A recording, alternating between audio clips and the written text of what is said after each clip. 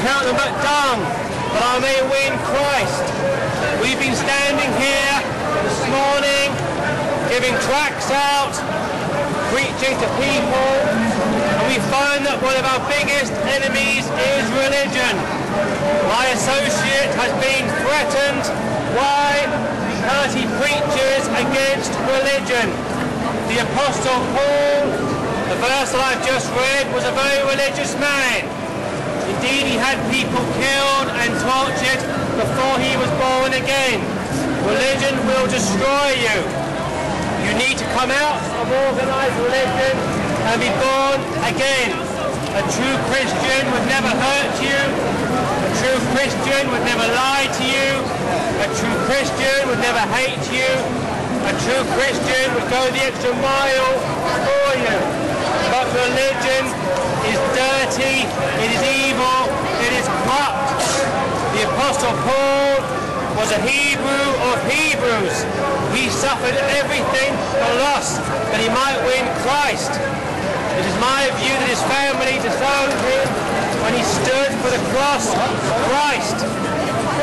You people today have heard the gospel preached. Most of you reject it. Most of you laugh and scoff at it. Indeed, the Apostle Paul says that you would think it is foolish.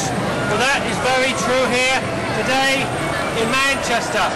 As I said, religion is an evil and wicked concept of the devil.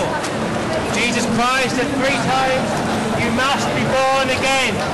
If you're trusting in religion, if you're trusting in your good works, if you're trusting in the golden rule, these things will never save you. The Bible says if you break one of the Ten Commandments, you have broken all of them. The scripture says if you lie just once, you are a liar by definition. If you hate somebody, you are a murderer.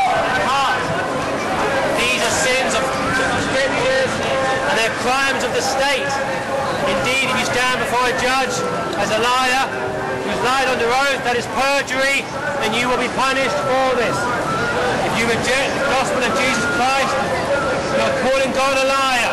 The Bible says if you deny what you hear, if you deny what you see, you are suppressing the truth in unrighteousness, and God will judge you for this. Ask yourselves this, what sort of religion allows women to be circumcised? Indeed, forces women to be circumcised.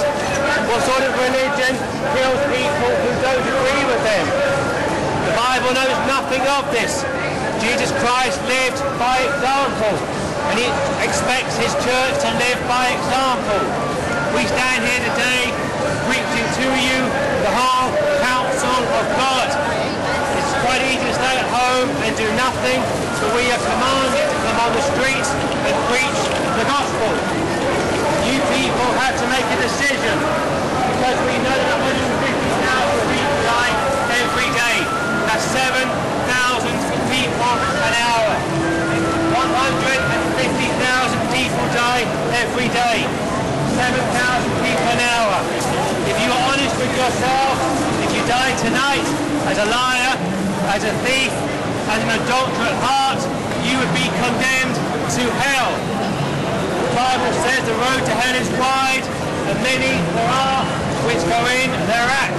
But the gate to heaven is narrow, and few there are which find the narrow gate. In the Old Testament it says hell never shut, and it welcomes people every day who come in to spend eternity in the lake of fire.